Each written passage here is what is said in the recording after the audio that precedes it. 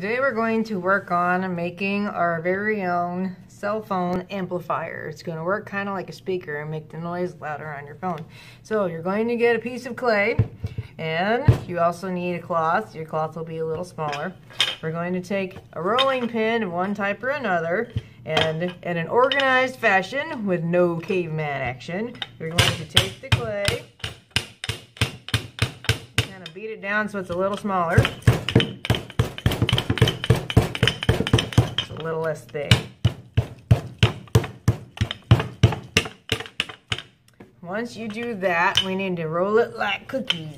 So you have to stand up and apply some pressure to your clay. We're trying to roll it so it's about a quarter of an inch thick and quarter inch and a half inch. We do not want it to be flat as a pancake.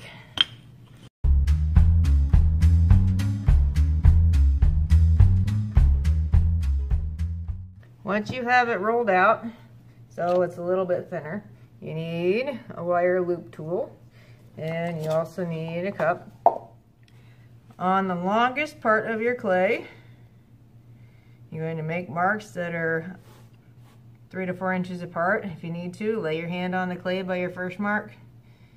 Make your second mark on the opposite side.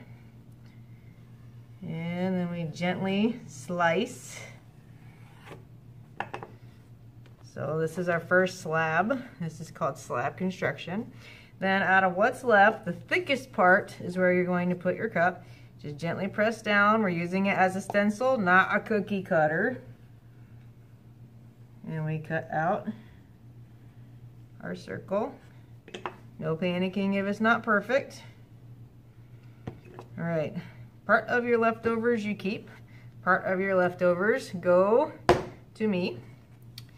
Then we take your base and we take your slab that you sliced and this goes on top of your base, not around it. I'm also going to slice this to even it out.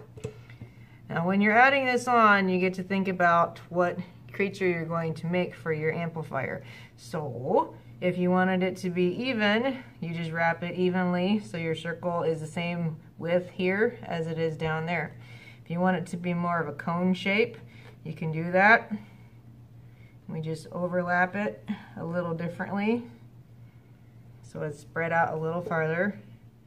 And then slice off extra. Your next mission is to take your finger and smooth those edges together all the way around.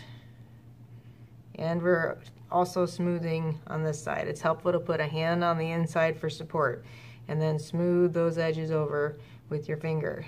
Now that all my outside edges have been smooth, my next mission is take my finger, stick it on the inside, make sure I'm providing support on the outside. And I'm trying to smooth over that edge. And if your finger's not long enough, you could always grab a wooden clay tool, just stick it in there, and it'll do the same job. And I can smooth the upper edge.